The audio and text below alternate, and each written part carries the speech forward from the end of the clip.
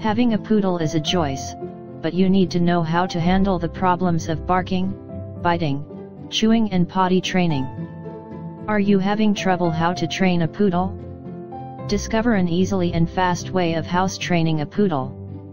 I stumble upon of a free course that solved all of my problems. Click the link below in the description and grab your free copy. Your poodle will thank you.